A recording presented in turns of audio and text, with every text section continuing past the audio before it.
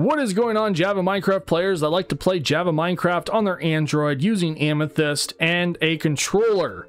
Today I'm going to show you how to configure your controller the best way I like to use it at least, so that you get the best basically bang for your buck. That includes even using touchscreen because you can use your touchscreen plus a controller at the same time. So let me show you how to do this. So back home in your Amethyst launcher, you're going to click on the settings icon and go to control customization. Now, you can click on Edit Custom Controls and you can change your buttons in here. Now, if you're using a controller, you can get rid of things like your jump button.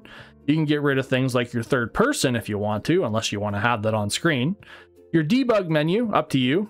Chat menu, yeah, up to you, but I'm going to show you buttons that I like to configure. Keyboard button, I like to keep that there just in case my keyboard doesn't want to open for me, but I can change it and I can change like the size. I can change the button opacity so that I know that it's there, but it's not there at the same time. I can go like this, maybe 6%, so that I can see that the keyboard button's up there somewhere, but I don't want to see it when I click that GUI button. The tab button, I'm going to delete that. My mouse button, never use the mouse, that's just my preference and all of these buttons right here because we're going to be using a joystick and all that fun jazz, right? So you don't really need these. Now, if you want to add extra buttons, you definitely can do so. Click on the settings icon in the top middle of the screen, add a button, add a joystick, add button drawer, all that fun stuff. And basically what you do with those buttons, you basically click on it and then you tell it what you want it to do. So button mapping, well, I want this to be zero for whatever reason. And then you can name it. That's basically it. So zero. that's all you really need to do. That's all that's not really hard. You can change the stroke. You can change the corners to make the buttons look kind of cooler. You can change the stroke color, the different colors and all that kind of stuff as well. I don't really do this too much, but I do use the on-screen buttons for mostly just the keyboard and the debug menu when I really need to. Now for my button opacity for the debug menu, I'm going to do that as well. And I'm going to change the debug menu to be like up here, my keyboard up here. And my GUI, I like to put my GUI like super big. So like this. And then I'm going to keep it in the bottom left hand side, but I changed the button opacity to completely gone. Now that's up to you. Now I like to do that just because I don't care to see it and then I can go save and exit. Now for the actual controller itself, we're going to go down to where it says the change controller keybinds. There's two options here, one for keybinds while you're in the menu, one for in the game. Now for in menu, this is how I like to do it, up to you. This is what I do. When I press in my left joystick, I go like this, and I'm going to do shift left. So shift left is the shift key on your keyboard, and here it is right there. And the reason why, when I'm in the menu and I want to make a stack of planks, for example, then I hold that shift button on your keyboard like you do on the computer, and then I'm gonna click on it and then it'll make a stack of wooden planks.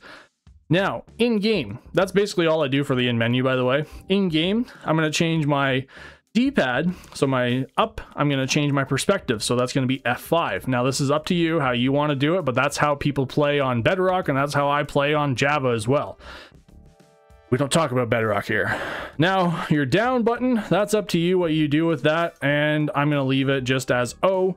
My right button, that's to be opening up my chat menu, okay? And that's it. That's all I really do. That's not really hard, and that's about it.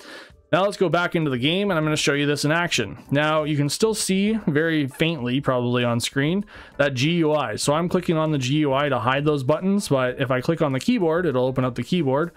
And if I click back, it's gone. Now, why do you need that? Well, maybe when you create a new world, like I'm going to do in a second here, go to single player and click on create new world. You're going to want to click that keyboard button because it won't work when you actually tap the actual edit text field up here. So this is going to be Moop. Okay, and hard, and maybe you want to enter a seed. I don't know what seed I'm going to enter, but I'm going to enter a bunch of gibberish numbers and see what that happens.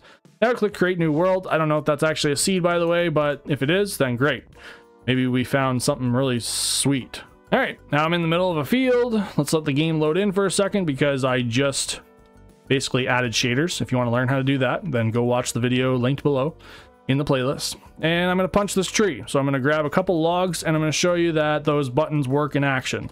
Also, I can change my perspective. A lot of people like to do that, right? You like to do that? Yeah? No? Yeah? Woo! Look at my butt! Alright, so let's click on the, the tree. And, oh, I want to open up the chat and say hello. Oh, hello. Now, you can't really see uh, your chat down there, but yeah, that's about it.